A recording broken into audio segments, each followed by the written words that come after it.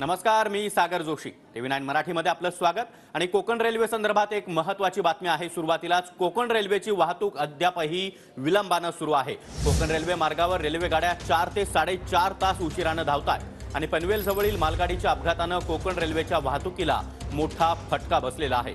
आपण काल पाहिलं की तुतारी एक्सप्रेस देखील बराच काळ रखडून पडलेली होती. आणि या संदर्भात अधिक माहिती देण्यासाठी आमचे प्रतिनिधी मनोज लेले सध्या आपल्यासोबत आहेत. मनोज काय अधिक माहिती आहे?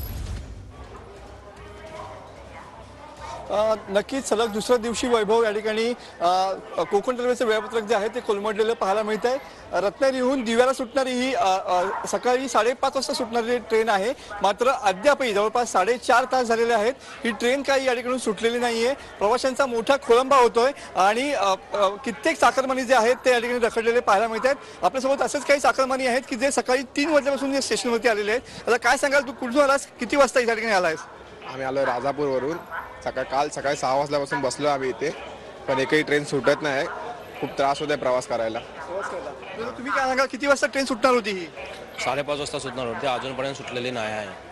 आता वाजल्यात साडेनऊ वाजले. साडेनऊ वाजता सुटणार होते ते पण अजून काय माहिती नाही. एखादीपर्यंत सुटतं येते आता समजेल किती वाजता सुटतात ते. लोक उलटा प्रवास करून या ठिकाणी आले सावड्यातून तुम्ही उलटे या ठिकाणी आलात. काय सांगाल? किती वाजता निघालाय? मी सकाळी तिकडे पावणे सहाला आलो होतो. आणि तिथून मग आम्ही रिटर्न पकडायला आलो. नक्की. कारण का ही गाडी आता लेट झाली. तिकडे अकरा वाजता जाणार आहे असं सांगितलं. त्याप्रमाणे कोकण रेल्वे वाहतुकीवर मोठा परिणाम झाल्यामुळे प्रवाशांना देखील मोठा मनस्ताप सहन करावा लागतोय. धन्यवाद तुम्ही दिलेल्या या सविस्तर माहितीसाठी.